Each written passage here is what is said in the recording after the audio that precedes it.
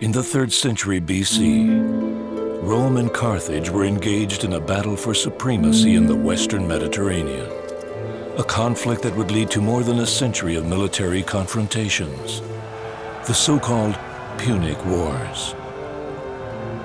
After the defeat of Carthage in the first of these wars, and with Roman ships dominating the seas, a large army of troops departed towards the coast of Hispania.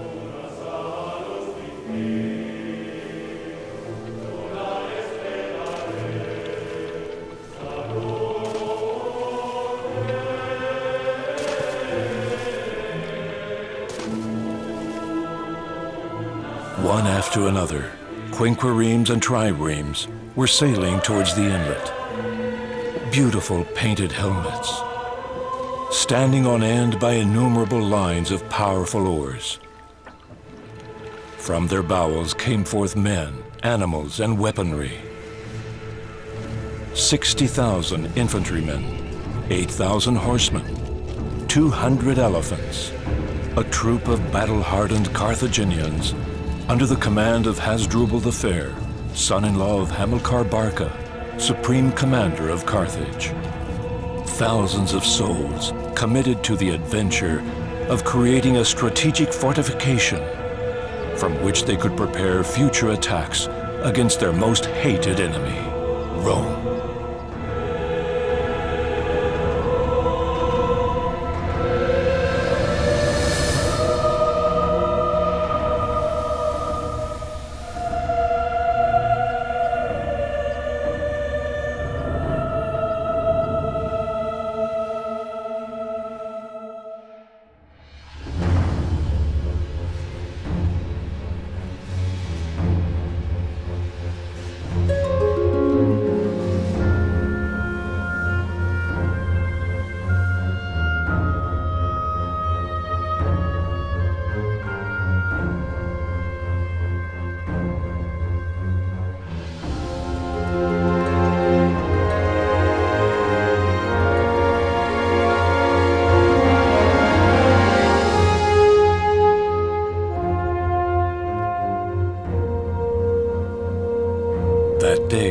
Poseidon was snoozing.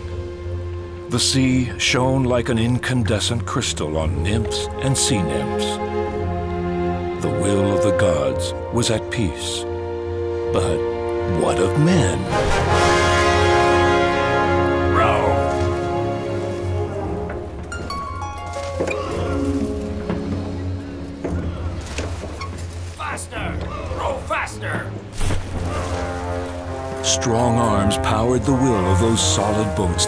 Darkened the shadows on the horizon. Then, great sails made to billow by no less than Neptune himself cheered on that wondrous fleet of fast-moving vessels.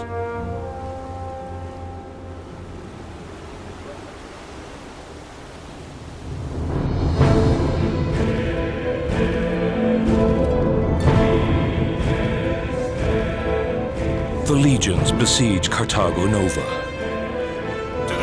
To the wall! 25,000 infantrymen, 2,500 horsemen, ladders, assault towers, orders to attack. The powerful machinery of Roman warfare ready to strike in combat.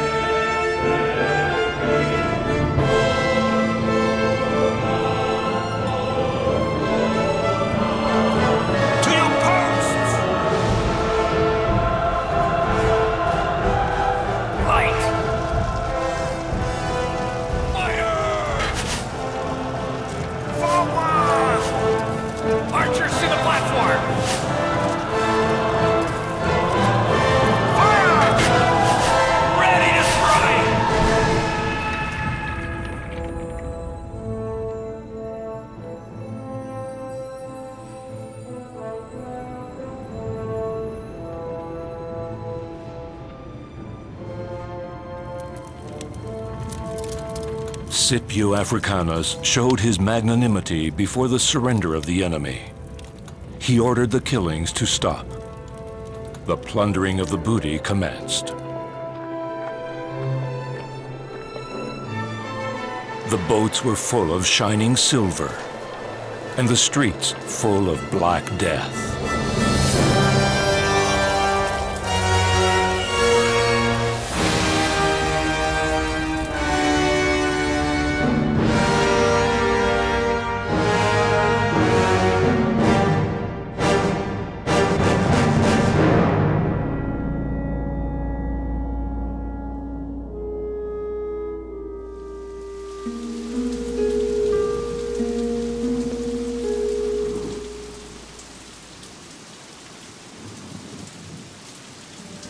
Din of war, the music of victory, and silence.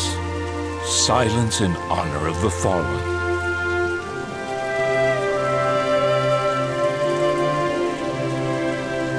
I've always loved these holy precincts. To walk among lives that have gone before us, to read inscriptions and imagine what their existence was like.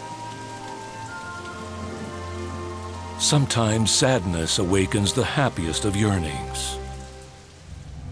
The youth of a boy in Imperial Carthago Nova. The virtuous enclave. The city touched by the magical muse of Mercury.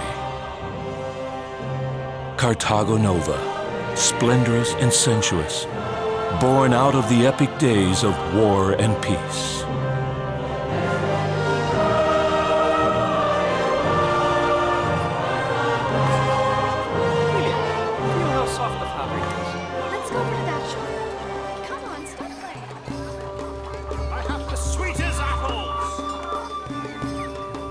Tradesmen and business people, comedians and musicians, gods and men, freemen and slaves, all of them representing in unison the formidable pageant of life.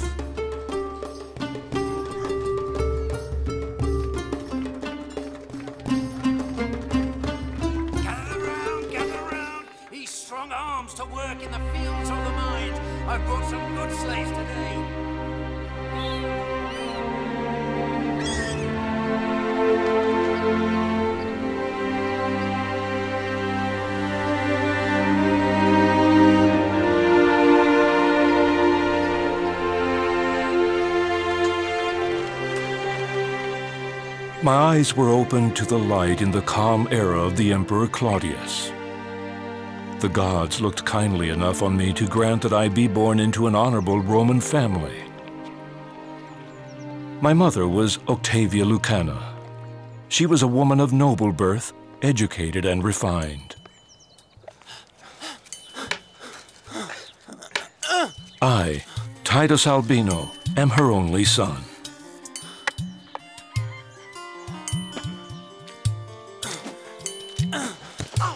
Ah. My father, Marcus Albino, was a prosperous and respected businessman, a practical man of simple tastes. Tell me, Macius, who would you have been on in the next games? On my school always. Titus, shield yourself from attack. Fighting exercises, an unavoidable daily appointment. The master, Macius the Greek, director of a famed gladiator school. My father wanted to increase my incipient virility, distancing myself from what he called the dangerous femininity of the arts. But my skills in physical disciplines were not favored by Mars. If you don't shield yourself from attack, you'll be easy meat for scavengers. Good fight, my son. Thank you, Father.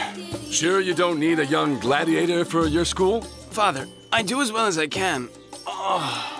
They say that Ben Ali has trained invincible gladiators. That dog only trains beasts. Well, they say that Dardanus, the barbarian, has a terribly wicked sword. Some brave rat. That piece of vermin doesn't know what a clean fight is. Ah, so there are honorable fights between gladiators, good Macius? Marcus Albino. There is more honor on the amphitheater floor than in the entire Senate of Rome. Whenever my father and Macius discussed bets and gladiators, my battered person was superfluous.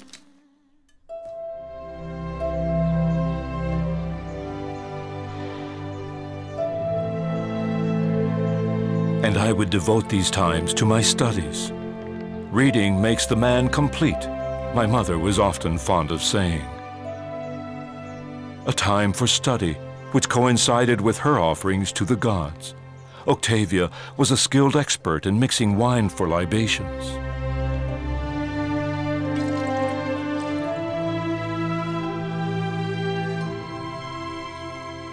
Some subtle skills which my father never managed to appreciate to their full extent. Octavia, what kind of ambrosia is this? Wine made from dates.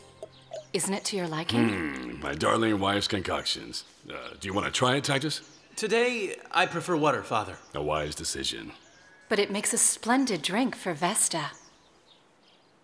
Mmm, it's very refined. I don't doubt it, but I have an unrefined palate. Hmm. You know, son, I think it's important that you start taking on the business you'll inherit one day. And this? Wine with lotus and dates. Reminiscent to wine with honey. A special libation for Vulcan. Can't a man just drink ordinary wine in his home? You see, son, what's good for the gods isn't good for your father. That's because gods are immortal and I am not, Octavia. My dear husband, I respect you too much to argue against you. Besides, a multitude of words is no proof of a prudent mind, according to Thales of Miletus? Magnificent. Have you noticed, Marcus? Our son is turning into quite a scholar. Titus, I want you to come with me to the forum. Today they're announcing who's won the contract to install the new water courses, and I want you to be there at my side. It's always a source of pride to be seen with my father. Mm. Wine made from rose petals, ideal for Isis. Aromatic? Very aromatic. Titus, I expect to receive in the forum the favor of all the gods.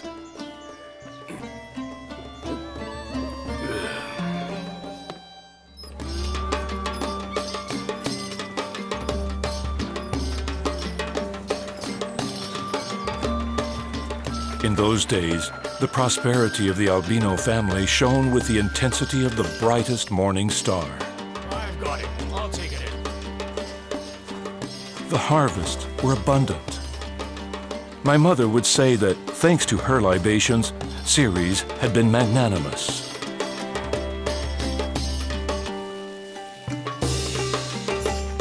The stone walls of the mill could satiate their hunger for grain. The bakers' shops were brimming over with flour, and their ovens with crusty breads.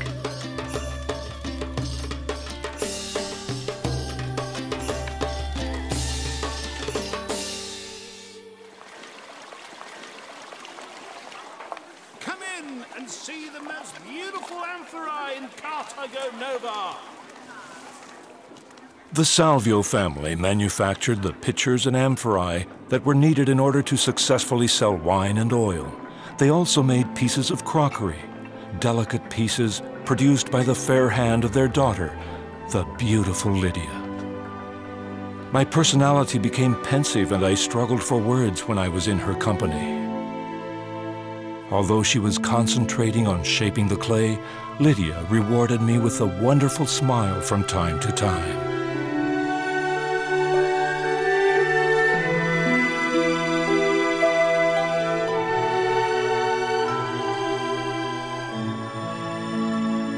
Had it not been for the echoes that resounded from the nearby noisy harbor, I would never have emerged from that sweet trance. Those were the beautiful days. Carthago Nova was growing and prospering thanks to its ideal location. Men and their assets arrived from the most distant places, a seemingly inexhaustible wealth of fortune. We've arrived, thanks to the gods.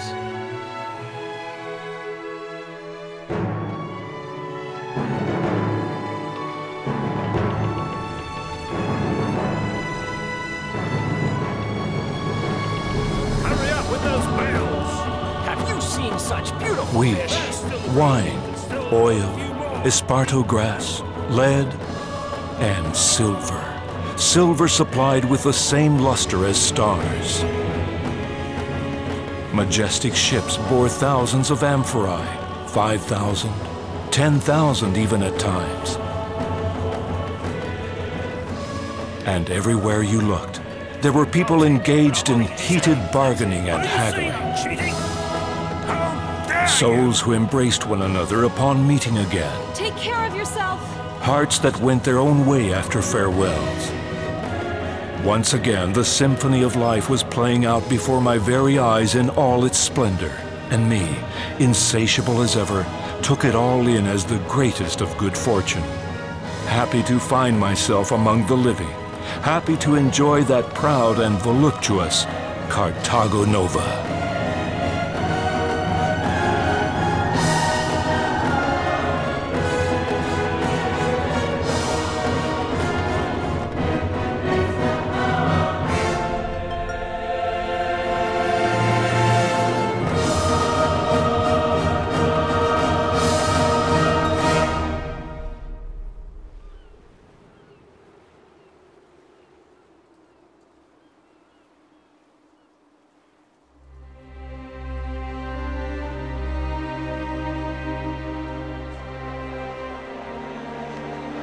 That day, the Forum was teeming noisily.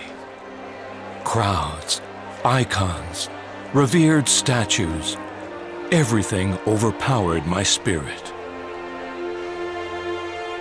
That day, strange gossip had overtaken tongues and ears. I'm sure that Lucius Andros will win. Well, I am inclined to go for Marco Albino. But my darling Lydia was there to encourage us.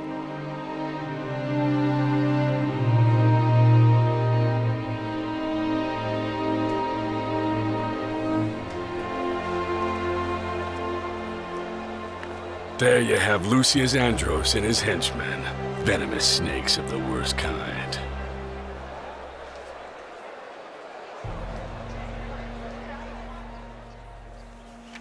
Citizens of Carthago Nova, we hereby pronounce the edict by which the Honorable Duumviri proclaimed judgment on the new water channeling works. A bad omen, Titus. The two respectable citizens who have tendered their bids are, on the one hand, Marcus Albino, and on the other, Lucius Andros. By way of this edict, it is determined that due to the similarity of the bids tendered, the award is declared invalid. So who's he bribed this time? A snake. That's what he is. By way of offering a final verdict, the magistrates of the Curia have decreed that the Honorable Lucius Andros and Marcus Albino must compete against each other. They will both build fountains here in the Forum Square. The final contractor of the project will be the one who finishes building his first. The water emanating from them must be healthy and suitable for public use. Nobody foresaw a dispute like that developing, but the unexpected and uncertain nature of the tender caused bets to be placed and made melancholic spirits happy again. I'm sure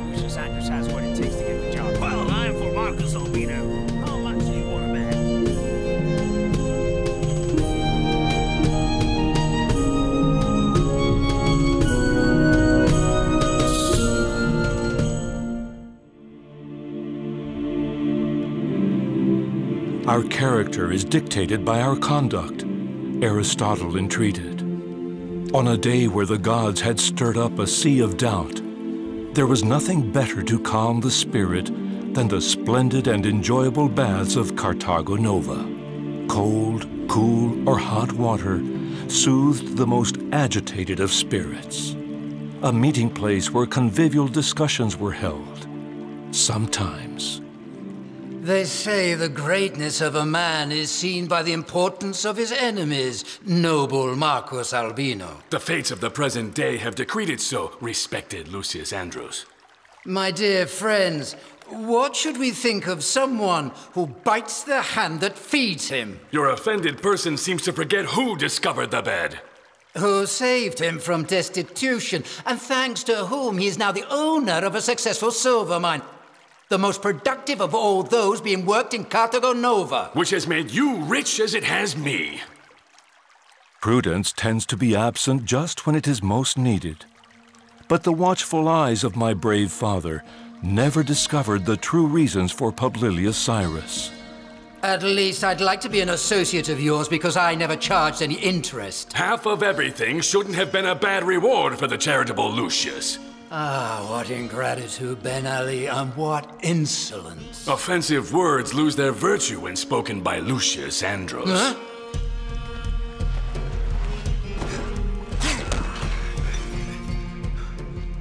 I can see you don't want to be my associate any longer. Not for a day longer, if the gods are looking on me favorably. Everyone here is a witness to what I'm about to propose. Whoever wins the challenge of the fountains shall keep the part of the mine belonging to the loser. That way, we'll cease to be partners and we'll come to be again good friends. May Jupiter put a seal on your words, and so be it. The dispute over the fountains gave rise to innumerable predictions and bets. In the baths and in my own house, peace was already an absent tenant.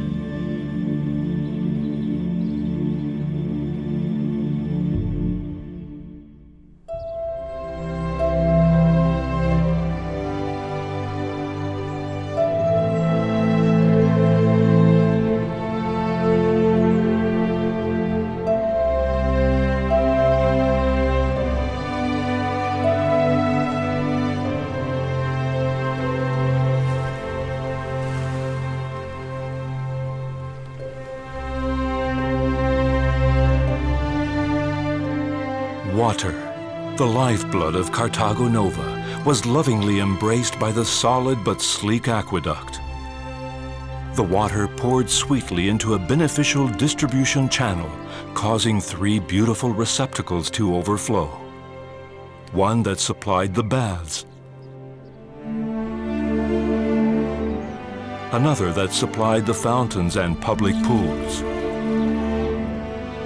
and lastly, the one that supplied water to the houses. Through influence and bribes, the nearest and most profitable water connection was entrusted into the hands of Lucius. In addition, in order to build the water supply lines, he took possession of all the amphorae in Carthago Nova. And should the divine winds ever stop blowing in his favor, the old usurer acquired a true legion of slaves. Work, you dogs!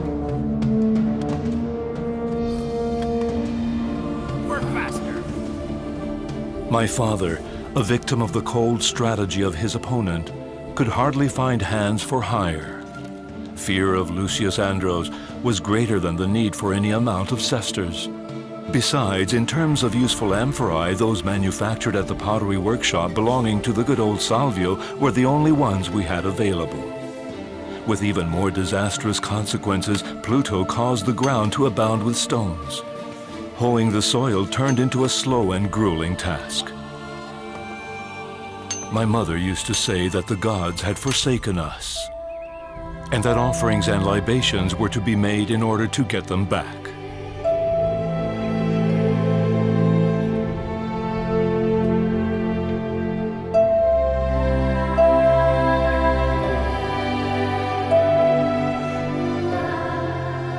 Within a few days, and spurred on by the winged Mercury, the channeling system being built by Lucius gained ground on ours.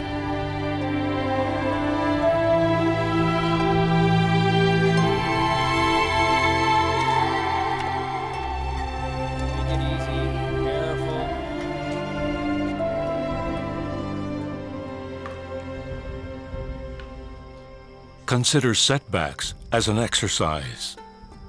But in such distressful circumstances, Seneca's wisdom didn't provide the comfort the Albino family needed.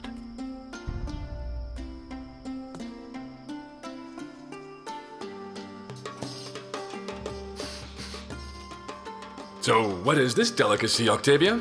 It's a dish of my own invention. Deliciously stuffed quail. Well, if these are quails. Yes, stuffed with brine cured bitter olives. How are they? Bitter. I'll have some grapes. For sure they'll be safer. Marcus, do you know that it worries me to have Lucius Andros as an enemy? He's a vile person.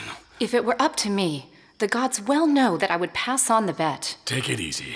You won't have to. It's practically lost anyway. It doesn't have to be like that, Father. I've studied our water connection, and it. It's farther away than his. That shyster knew well what people he had to bribe to come out ahead. Yes, but it has the advantage of being higher with a gentler slope. On the other hand, Andro's connection has a very pronounced fall. Only on the first stretch. Father, I'm sure the source of the water will make the channel collapse. That should hold them back. But not enough. What's more, we can use lead instead of amphorae. Tubes made of lead? They are much stronger and much narrower. The ditches to be dug are smaller and therefore quicker to make. With the help of the gods, we'll make up for lost time. Let's join it.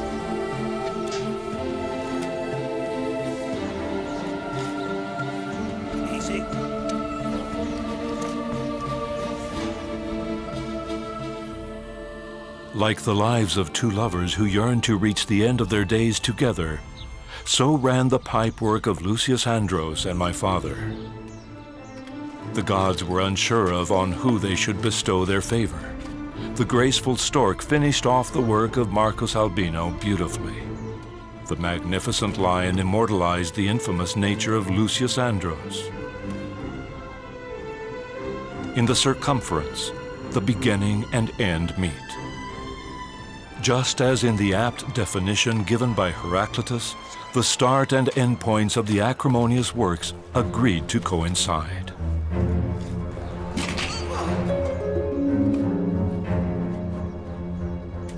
And Lucius's black shadow only spurred on the quarrel. Lead gave way to setbacks. Perhaps the gods had already decided their verdicts. And my predictions became reality, as if they had come out of an infallible oracle.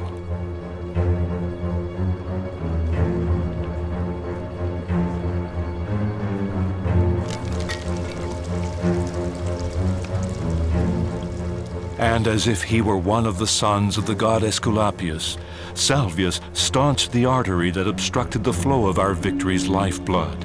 But Lucius's men also showed great alacrity.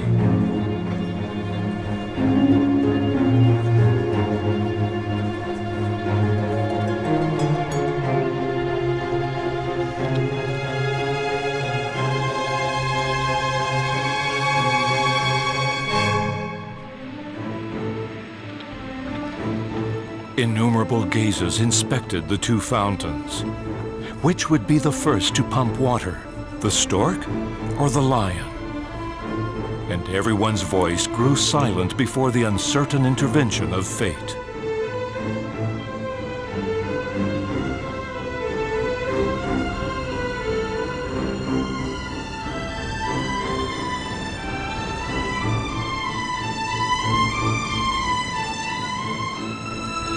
And the water gushed out, cool and clear.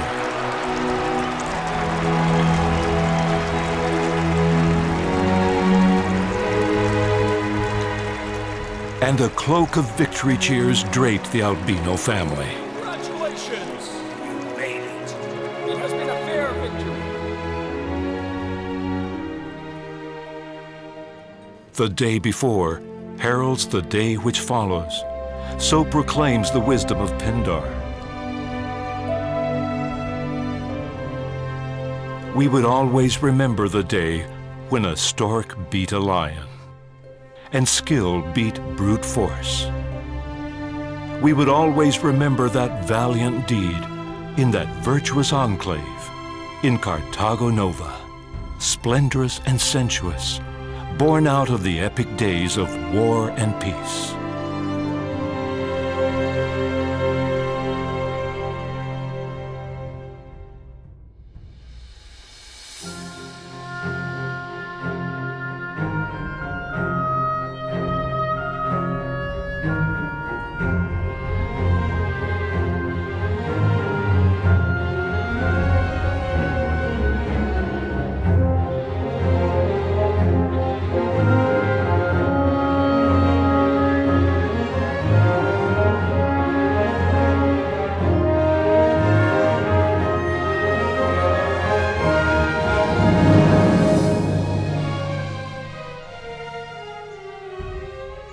Everything fake falls away like faded flowers. But justice dealt by time doesn't prevent dishonorable events. Nero had governed Rome. the winds of decadence swept through the empire. In Carthago Nova, the days of prosperity seem a long way off now. Ceres, offended by human ingratitude, also inflicted her punishment. Five years of drought emptied the grain silos.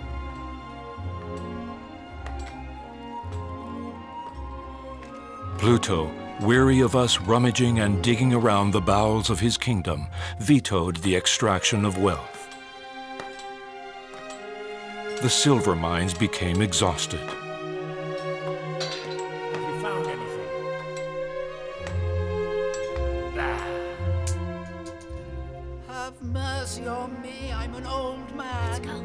Hunger and misery cast a dark shadow over the future. Have mercy on me. Hey, you grouch! These wretched sons of Hades, robbers of poor old men like me! May the gods take their vengeance on you! Come back! Fear took possession of Carthago Nova. There were robberies and assaults on dark nights.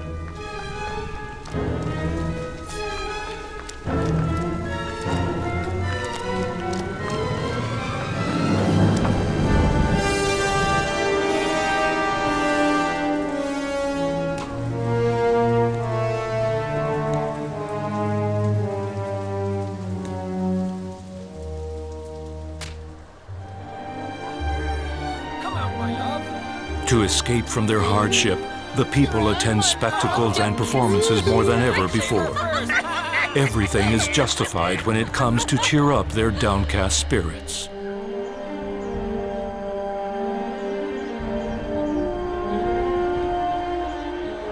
The Curia ordered gladiatorial games to be held, a fleeting remedy for popular discontent.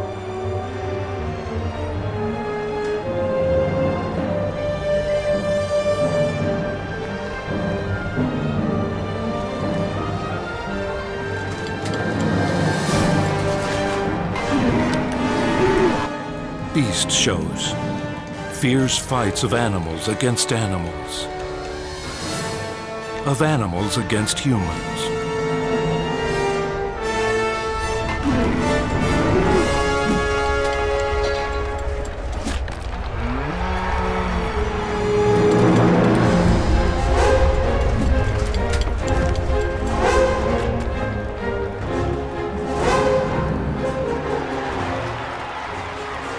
And above all, the most appreciated and awaited gladiator fights. Men against men. Heated combats to the death. The ferocity in the arena soothed the rage of people facing adversity.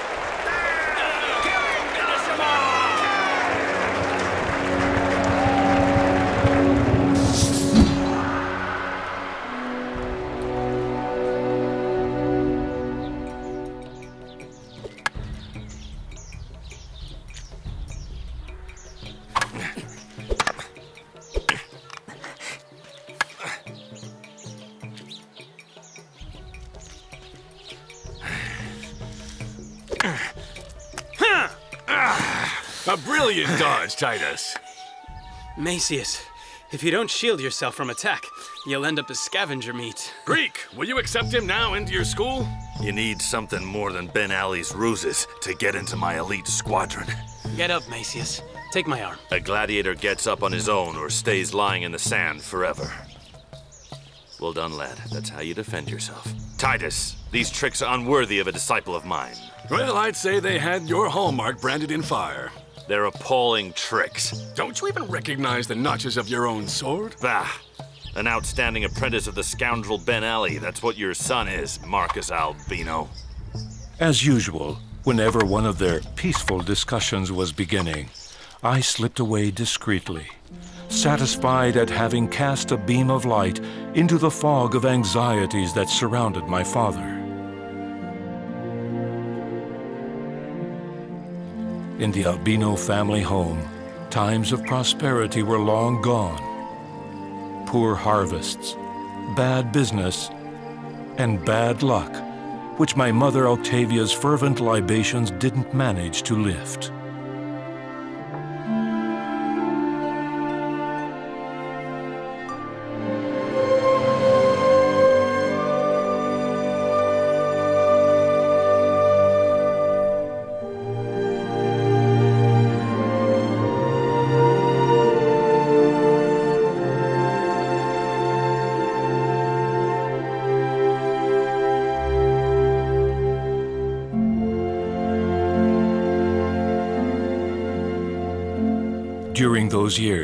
I was immersed in learning the wise disciplines of Vitruvius.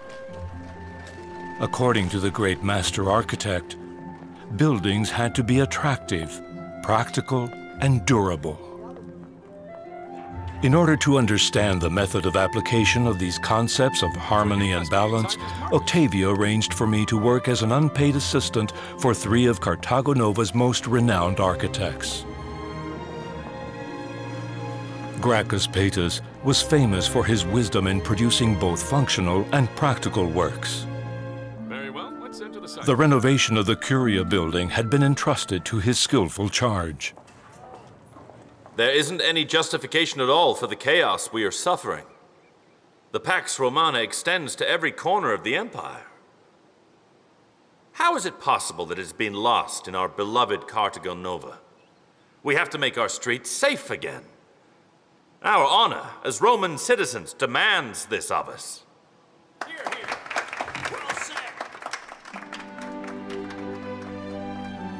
Another of my recognized teachers was Tullius Babius, an expert in creations where artistry stood out with a remarkable level of achievement. Maintenance work on the graceful and airy theater bore the hallmark of his handiwork. That front facade will be covered in marble. He had to enhance the stage of the proscenium, already spectacular up to that point. Titus, never forget the acoustics. Look, Titus, those columns will support the entire superstructure. 6,000 spectators would admire the skill of the brilliant Babius.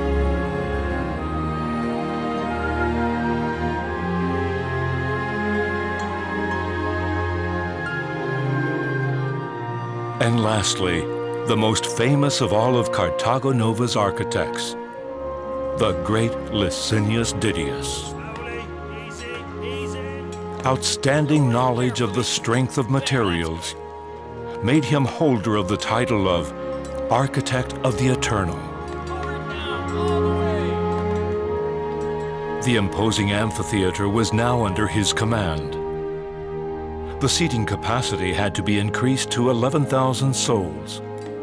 My knowledge increased day by day in the shadow of the Master.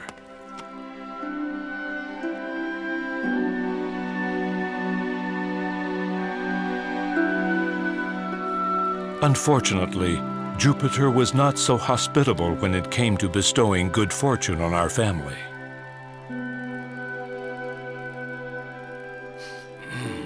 The fish isn't very fresh. So I see, Octavia. Nowadays, it's hard to find anything at a decent price. Well, there's no dish a pinch of garum can't spice up. That's what you call a pinch, Father? Titus, this is Carthago Nova's true gold. Mmm, delicious. Yes, if one day you sold this in large quantities, you'd really be in business. Marcus, don't you know that a young architect needs a much bigger place to study? Mother, I've told you it isn't necessary. Garum, more valuable than silver itself. I think there's a room that might do very well. It's large and with a lot of light. And besides, it won't ever run out, What about the one overlooking the garden? as long as there are fish. As a library, it would be perfect. That deaf dialogue was their way of hiding a normality which no longer existed. What was that phrase, Titus? If you've got a library with a garden, If you've got a library with a garden, you've got everything. that's it. And who said it? Cicero, dear mother. Fantastic memory. Marcus, don't you think that our future Vitruvius deserves that library? Titus, remember what your father says. One day ships will leave here with thousands of amphorae filled with this subtle gem. But my father's vessels never made it to their port of call. Neptune charged for his favors with implacable brutality.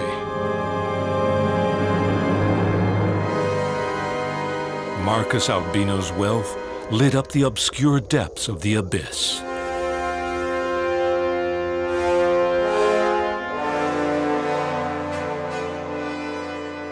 My father had to resort to the city's most hated moneylender, Lucius Andros. One way or another, I'll keep my promise. These are difficult times, Marcus Albino. On my honor, I'll pay you back to the last sesterce. The old man imposed interest rates ruthless in their usury. He showed no mercy to the only man who had stood up to him. Don't be afraid, Come here, poor boy. sweetheart. Yeah. Come here. Uh, get your hands off me, you brute! Leave her alone. You want to mess with me? Out of here, you How dare bastard. you? Show him some manners. Why don't you mind your own business? Teach him a lesson. Teach him a lesson.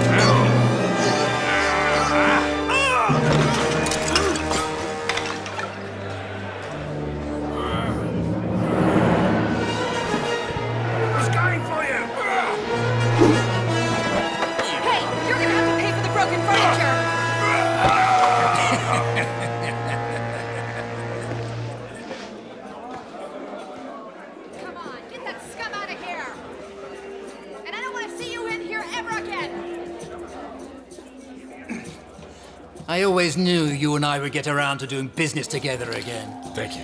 Marcus Albino, I always collect what is owed to me. Everyone knows Lucius Andros always lived up to his well-earned reputation.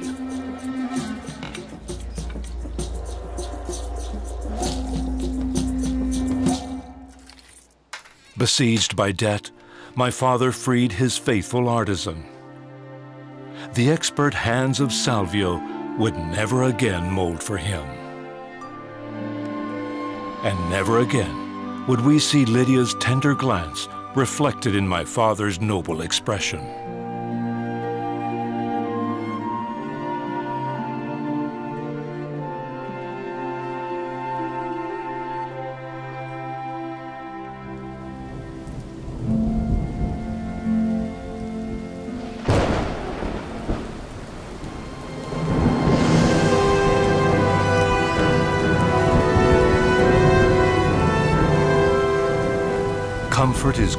Cold and tasteless when it doesn't come wrapped in a cure, said Plato.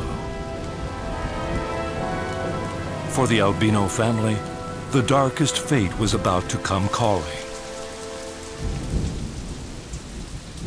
Father, they say the storm flung the boat onto the island rocks. Marcus, you can't go out in a night like this. The shipwrecked say that they were trying to reach the harbor for refuge. If it is true, it is our ruin, Octavia. But the streets aren't safe at night. Mother, don't worry.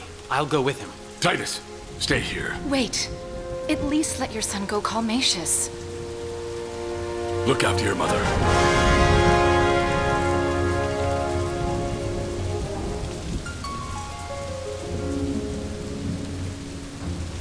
Deep inside, we both had a foreboding premonition.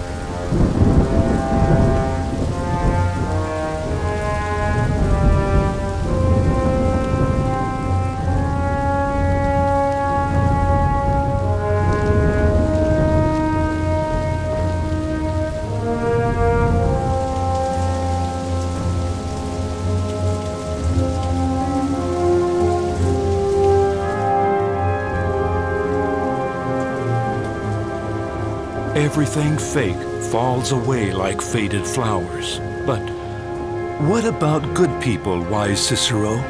Why the noble and kind Marcus Albino?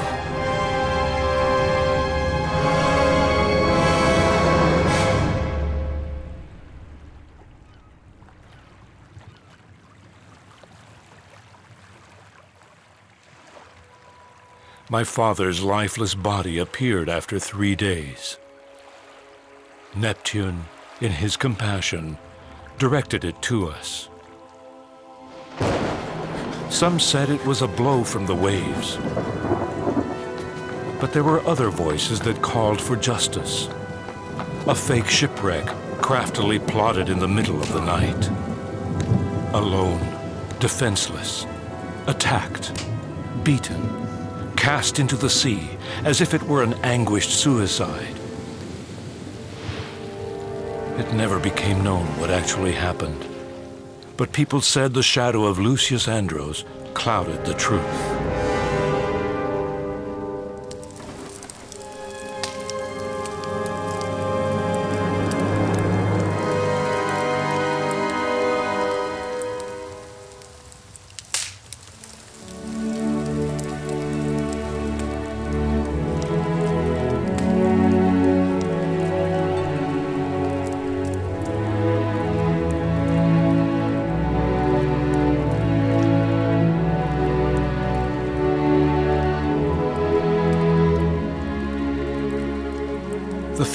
Pyre burnt as was prescribed, without logs carved in honor of the deceased.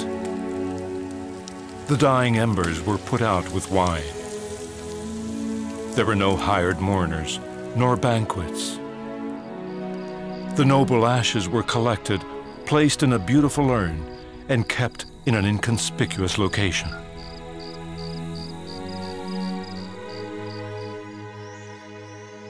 Lucius didn't respect the holy days of required mourning to claim our debt. My mother appeased him with properties. To die young is to squander life, a squandering done by the gods. Do you know, Octavia? In spite of our differences, I always respected your husband. Even when we were engrossed in bitter competition, I admired his valor. He was the only one bold enough to challenge me. The greatness of a person is seen in the importance of his enemies. Here you are. The mine is yours. Thank you. Only Jupiter knows how long I've been waiting for this, since that ill-fated day when your yearned husband won the bet. It was a good fight. No one doubted that it was, but to win it back. After so many years, forgive me if my old heart is racing a bit. Is that all, Lucius? For the time being, dear Octavia. For the time being.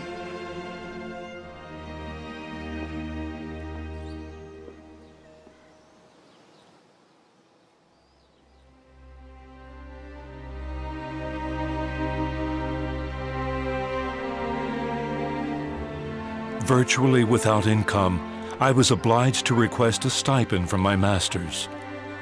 Only Licinius Didius accepted. Some time before, Rome had suffered a devastating fire. In the new city that rose from the ashes, the eternal architect had to take on an imperial project. And he left the completion of the works of Carthago Nova in my hands.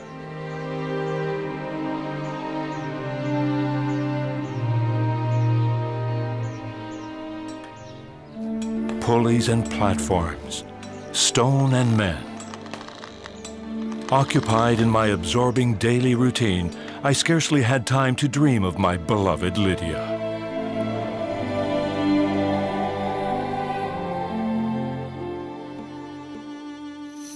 Homoplaki! If you don't shield yourself from attack, you'll end up as scavenger meat. And in the arena, Macius's gladiators were already exercising. The lavish games that would inaugurate the new amphitheater were nearly upon us. There was a Nubian gladiator who went by the name of Fabius. His feline agility was prodigious. But above all else, I admired his nobleness in combat. You'll be roadkill for vultures. Do you hear me, Homoplaki?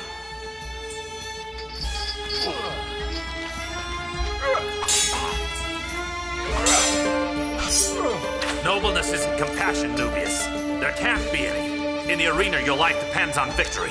To hesitate means to die.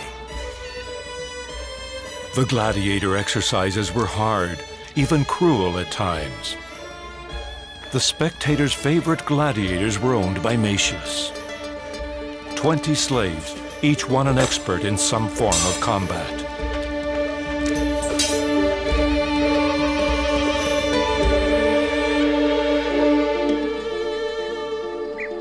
I would often go to the quarries. I would choose the ashlars from the very best veins. It was on one of those days that the gods shone a light on my destiny. I passed close by our small abandoned garum factory. In memory of my father, I took it upon myself to visit it. The store, by the will of the gods, was still full of unsold produce. For a long time, our family hadn't been capable of trading.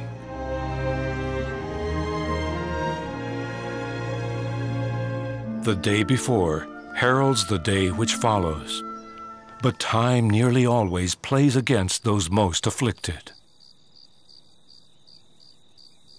We have to sell it, Titus. Mother, it's the Albino family home. But I can't pay Lucius. Remember what Father used to say about Garum. The jewel of Carthago Nova. You know, they're rebuilding Rome. Yes, and they say that the port of Ostia is back to business like the good old days.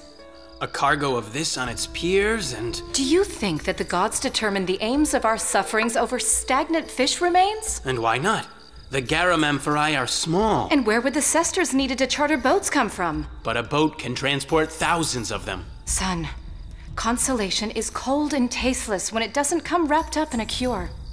Plato's words in the mouth of my mother killed the idea. The garum, once again, was forgotten.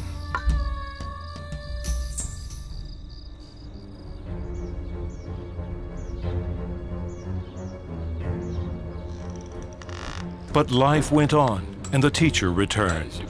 Licinius Didius praised the way the project was carried out. He even offered me work in Rome. According to him, I was ready to fly alone. If you don't shield yourself from attack, you'll end up as scavenger meat. Back to work, He who hesitates perishes. Do you hear me, Homo Blackie? You'll be roadkill for vultures. In the arena, your life depends on victory. To hesitate is to die. Oh no! Watch out!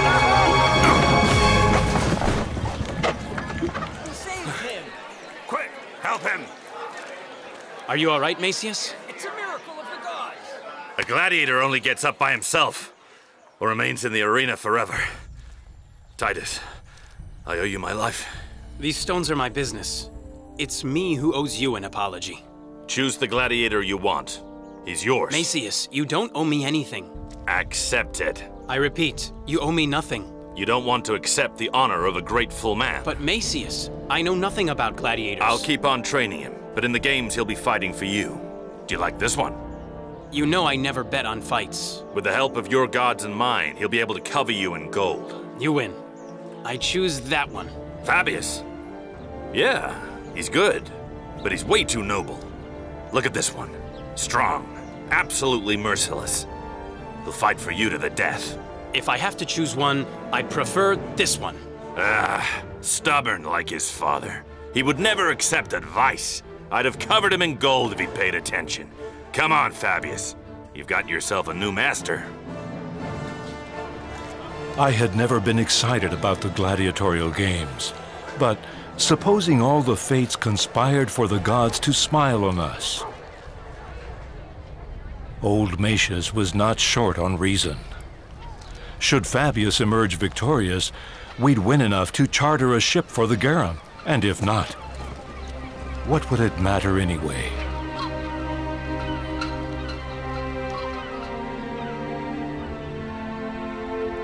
To call on favorable omens was never inconvenient, my mother proclaimed. Minerva, Jupiter's daughter, goddess of war and also of peace, benefactor of the arts and sciences, became the object of our libations and sacrifices.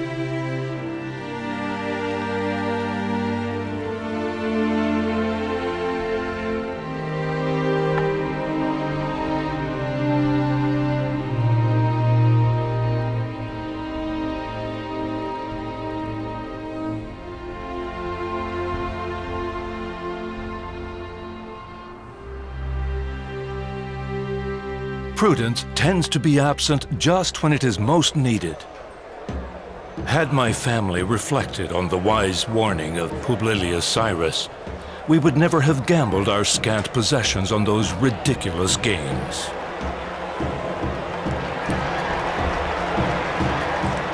And there he was, the sinister Lucius, willing to watch his ill-gotten and blood-soaked gains increase.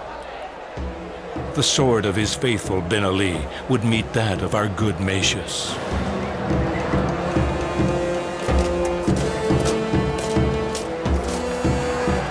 Lucius Andros placed huge bets in favor of Dardano's sword, the invincible Murmillo. As for us, all our hopes were pinned on the net and trident of the noble Fabius.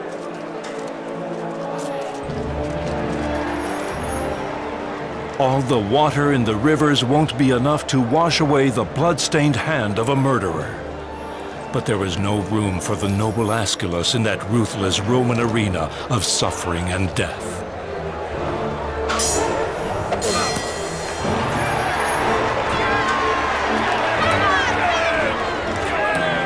Ben Ali's ferocious Murmillo was annihilating Macius's gladiators.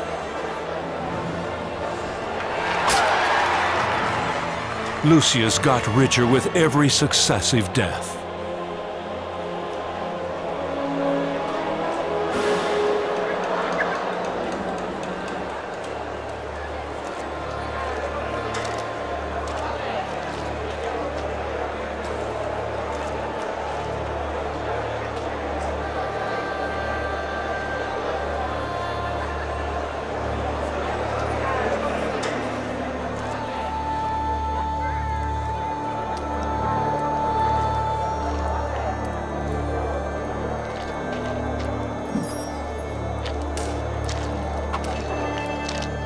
How do you look into the eyes of those whose life is at your mercy?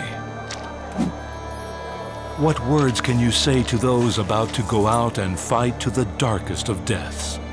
For someone in that position, there is only one possible satisfaction, freedom. That was what I swore to the worthy and noble Fabius.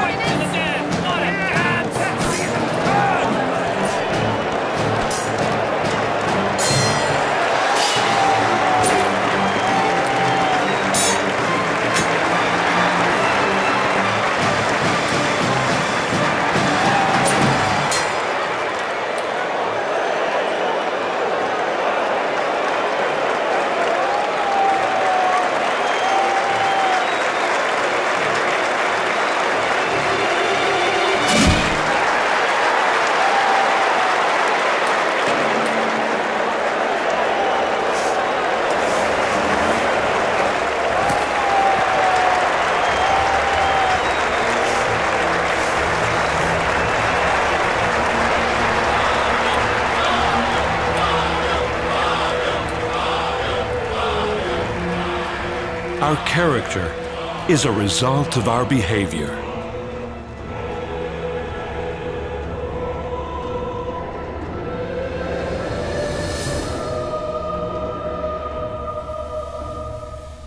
To the indisputable Aristotle, I would add, and our death is a consequence of how we have lived.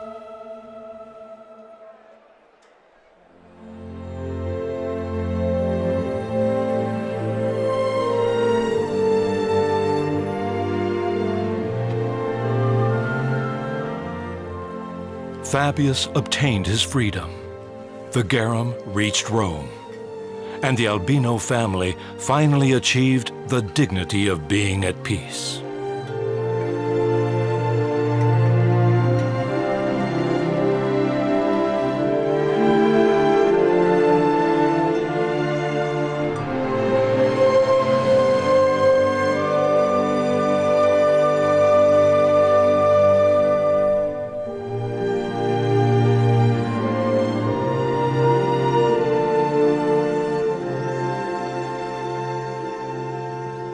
Flowering seasons have come and gone. Before my very eyes, landscapes and people have mutated. But still today, on sunny days, I wander through the forum and remember my parents.